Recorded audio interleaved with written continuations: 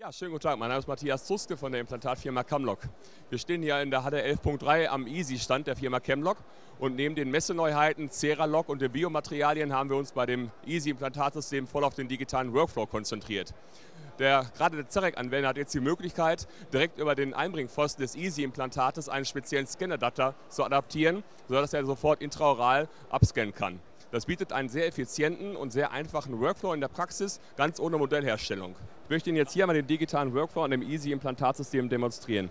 Nachdem Sie das Implantat mit dem Einbringpfosten inseriert haben, können Sie direkt auf den Einbringpfosten des Easy-Implantates den Scanadapter oben drauf adaptieren und den speziellen Sirona Scanbody oben draufsetzen und jetzt intraoral mit der Omniscan das Ganze digital erfassen. Nachdem Sie das getan haben, können Sie den Scanadapter herausnehmen und den Easy Gingiva Former auf den Einbringpfosten adaptieren und den Patienten entlassen. Ich freue mich auf Ihren Besuch hier in der Halle 11.3, so wo ich Ihnen die neuen Neuigkeiten zeigen kann. Vielen Dank.